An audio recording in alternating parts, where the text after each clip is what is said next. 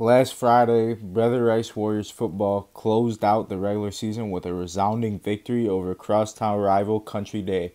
Here are the top five plays from that game. Coming in at number five, Alfredo Velasquez.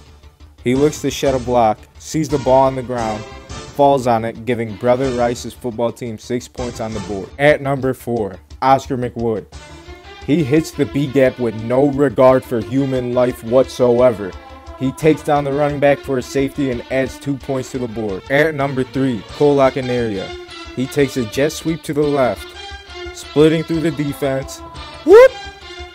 Takes the jet sweep in for 25 yards and a touchdown. At number two, Taylor Aristotle. Coming in at a whopping 6 foot 8.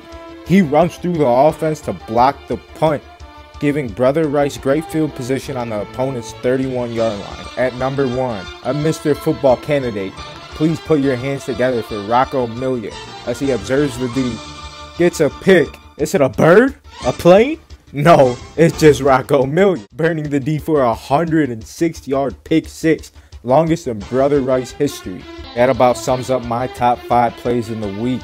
Please make sure to tune in next week to watch Brother Rice take on Divine Child in the playoffs.